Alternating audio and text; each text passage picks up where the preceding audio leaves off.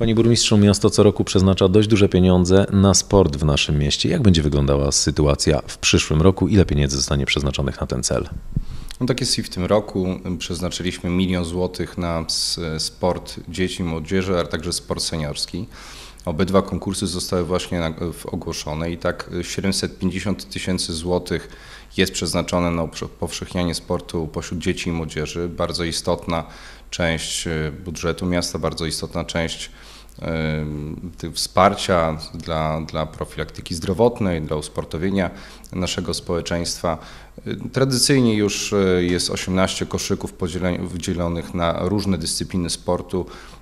One są mm, oczywiście nierównomiernie dofinansowywane. Te najbardziej dofinansowane to oczywiście piłka nożna, sporty walki, e, koszykówka, czyli no, krótko mówiąc te e, dyscypliny sportu, które cieszą się największą popularnością, gdzie najwięcej dzieci i młodzieży uprawia, uprawia te sporty, ale każdą z dyscyplin sportu, która jest w naszym mieście reprezentowana przez odpowiednie stowarzyszenia, staraliśmy się e, w jakiś sposób dofinansować, żeby przeznaczyć im pieniądze w tych ich koszykach. E, konkurs dopiero przed nami. 27 grudnia upływa termin składania ofert na e, sport, upowszechnianie sportu pośród dzieci, dzieci i młodzieży. Rokrocznie przeznaczamy bardzo dużą kwotę, jeżeli analizujemy to w stosunku do naszego budżetu, bo zdajemy sobie sprawę, jak ważnym jest elementem życia sport dzieci, sport młodzieży, ale również i sport seniorów, ogólnie rzecz biorąc e, sport w naszym mieście. I to jest ta jedna część e, naszego dofinansowania w obszarze sportu. Również w tym roku znalazło się 250 tysięcy złotych na sport seniorski. Mam tutaj na myśli sport, piłkę nożną na poziomie czwartoligowym. Tu również e, w tym samym czasie, 27 grudnia, jest, przyjmujemy e, oferty na, na, na, w, tym, w tym konkursie. E, to jest do, dobra kwota, jeżeli porównamy ją do, do całości naszego budżetu. E, to jest, jeżeli dodamy również do tego, że nasze wszystkie obiekty sportowe w mieście dla dzieci i młodzieży są udostępniane za darmo, mam na myśli i basen, i korty tenisowe, i płyty trawiaste, i boiska sportowe, hale gimnastyczne, to to jest niebagatelna, bo to również y, bardzo łatwo da się wyliczyć finansowo, ile nas kosztuje to udostępnienie za darmo dla dzieci i młodzieży, e, ile kosztuje nas obsługa mm, ośrodka sportu i rekreacji i kreowania sportu w mieście. Jest to kwota kilkumilionowa, którą e, burmistrz miasta rokrocznie w, w sposób świadomy i zdecydowany przeznacza na to, aby popularyzować sport w mieście, gdyż zawsze będę uważał, że nie ma nic lepszego jak profilaktyka zdrowotna poprzez działania sportowe, a no i przede wszystkim zdrowy i sportowy tryb życia, który w Szczecinku staramy się wpajać od najmłodszych lat. A teraz zmieniamy nieco temat. Rozstrzygnięty został konkurs na wolontariusza roku. Kto otrzymał wyróżnienia? Co prawda Dzień Wolontariusza Roku, czy Dzień Wolontariusza obchodzimy 5 grudnia, ale w zeszły czwartek w ratuszu odbyła się jak zwykle bardzo miła i fajna uroczystość.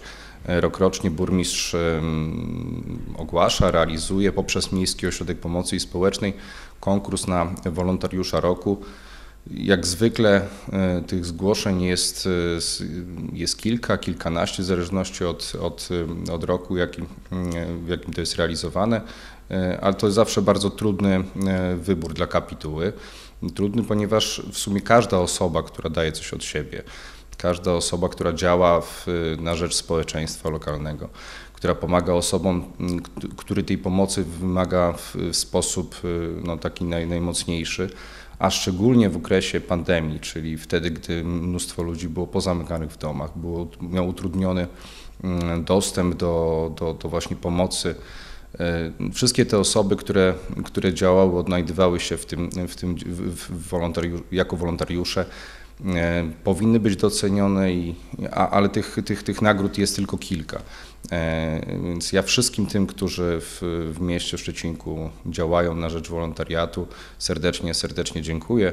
A z no, gwoli w ścisłości należy powiedzieć, że ten laur w tym roku przypadł Markowi Grzegorskiemu ze Stowarzyszenia Inicjatyw Młodzieżowych oraz Kai Cejmer z 13, e, z szczepu harcerskiego z Czarnej Trzynastki. E, za działanie w zeszłym roku.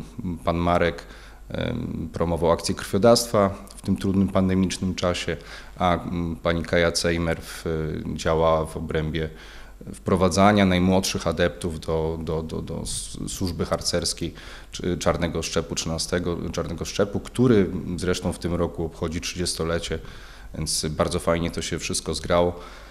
Ale w, jeszcze raz wspomnę, że wszystkie zarówno te e, organizacje czy instytucje, których wyróżniliśmy, bo wyróżniliśmy właśnie Stowarzyszenie Inicjatyw Młodzieżowych, wyróżniliśmy e, e, 13 Czarny Szczep, ale także Zespół Szkół numer 2. E, Te instytucje, z, e, im się należą wielkie brawa i gratulacje za, za promowanie wolontariatu pośród swoich mm, członków stowarzyszenia, pośród harcerzy czy pośród uczniów e, zespołu szkół numer 2, także mm, indywidualne osoby, które zostały wyróżnione, a mam tutaj na myśli e, panią Małgorzatę Wolanin, panią Agnieszkę Pańczyk, panią Sylwię Zelmanowską oraz Annę Pietrusewicz. Im również, ich, je również e, no, serdecznie pozdrawiam i gratuluję i dziękuję za to, że tak wspaniale odnajdują się w wolontariacie szczecineckim. Wolontariat szczecinecki ma bardzo długą tradycję. Nasze społeczeństwo w, i nasi mieszkańcy e, chcą chętnie każdego roku dać coś od siebie, e, coś e, nieodpłatnie działać na rzecz osób i grup najbardziej mm, tej pomocy potrzebującym, czy poszkodowanym, czy, czy po prostu no, mm, działać, działać społecznie, aktywować społeczeństwo i to jest bardzo fajne. Jestem zawsze podczas tego mm, rozstrzygnięcia tego konkursu wolontariusza roku, to, to, to jest bardzo fajna uroczystość. Jestem bardzo dumny z tego, że, że wśród takich mieszkańców się obracam. Jesteśmy w tym okresie przedświątecznym. Tradycją stało się, że w naszym mieście organizowany jest jarmark bożonarodzeniowy, jarmark świąteczny. I jak będzie wyglądało to w tym roku? No ja się cieszę przede wszystkim, że mogę poinformować, że jarmark szczecinecki się odbędzie, bo to zawsze jest ta wielka niewiadoma, czy ten e, czas pandemiczny pozwoli nam na to, żeby pewne, e, pewną tradycję zachować, ciągłość pewnej tradycji zachować. E, Ta informacja jest pozytywna, jest dobra.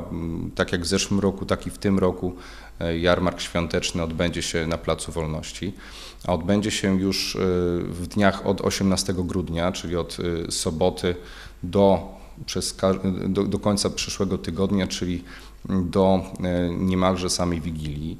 E, W tym czasie, na, jak zwykle na Placu Wolności, Plac Wolności stanie się już takim naprawdę przystrojony świątecznie, bożonarodzeniowo, będzie czuć e, ten, ten klimat świąteczny, mnóstwo stoisk, domków z różnymi rękodziełami, przysmakami, z potrawami wigilijnymi, które będzie można e, kupić u nas na Placu Wolności. Będą trzy food trucki. E, To będzie na pewno bardzo świąteczna i fajna atmosfera. E, Wszystko bardzo ładnie przy, przystrojone świątecznie i, i serdecznie zapraszam mieszkańców do tego, żeby odwiedzali, żeby wspomagali tutaj naszych lokalnych, lokalnych przedsiębiorców, którzy się wystawią, bo e, bardzo szerokie grono kulinarnych naszych gastronomów będzie sprzedawać swoje kulinarne potrawy, ale i również lokalne rękodzieło będzie w, na Placu Wolności sprzedawane, więc ym, od 18 grudnia Plac Wolności przepełniony kolendami i świąteczną atmosferą. Serdecznie zapraszam.